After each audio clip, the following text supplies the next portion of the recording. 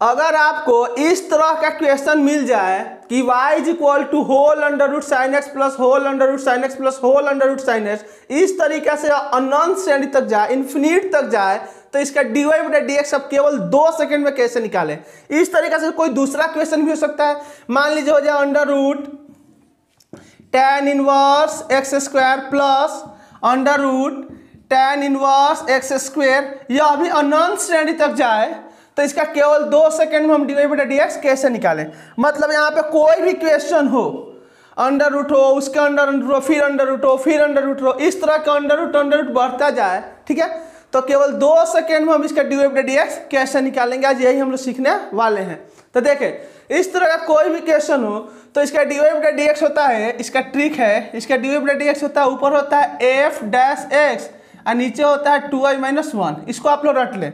कि इस तरह का कोई भी आपको क्वेश्चन मिल जाए, जहाँ अंडर रूट फिर अंडर रूट फिर अंडर रूट फिर अंडर रूट और कोई भी एक फ़ंक्शन अंदर दिया हो तो जो फ़ंक्शन अंदर दिया हो, उसका एफ़ डैश एक्स निकाल देंगे, और नीचे हमेशा रहेगा टू आई माइनस वन तो इसका डी वाई डी एक्स हो जाएगा।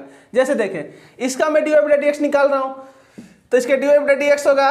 हम तो अच्छी तरह जानते हैं कि नीचे रट ले हमेशा होगा टू आई माइनस वन नीचे हमेशा इस तरह के क्वेश्चन में होगा टू आई माइनस वन ठीक है?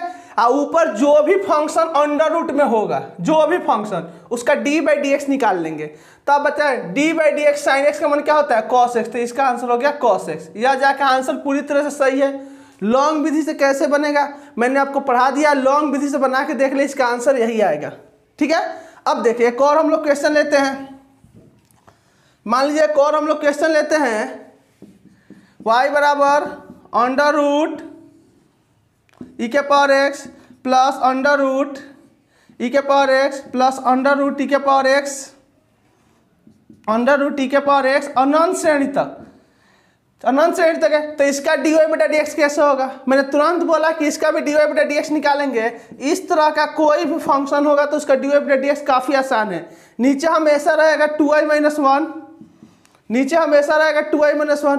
और ऊपर जो भी फ़ंक्शन अंडर रूट में उसका डी बटा डी एक्स तो डी बटा डी एक्स ई के पावर एक्स का क्या होता है? ई के पावर एक्स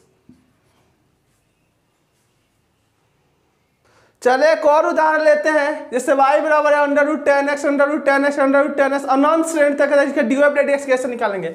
अभी तुरंत हमने बोला, इस तरह का कोई भी क्वेश्चन उसका डी बटा डी एक्स निकालना काफ़ी आसान है। नीचे हमेशा होगा टू आई माइनस वन। नीचे हमेशा होगा टू आई माइनस वन और ऊपर जो भी फ़ंक्शन अंडर रूट में होगा, उसके डी बाई डी एक्स निकाल देंगे। तो टेन है। तो d by d x tan x का हम लोग क्या जानते हैं? Sec square x sec square इसका आंसर हो गया। ठीक है? अगर आपको जाँच करना है तो लॉन्ग विधि से आप लोग जाँच कर ले। कोई भी कितना भी भारी हो, हमेशा नीचे होगा टू आई माइनस वन और ऊपर जो भी फ़ंक्शन होगा, उसके डी बाई डी एक्स लिख लेंगे। अगर आपको पसंद ना रहे तो प्लीज़ लाइक के बटन दबाएँ शेयर करें थैंक्स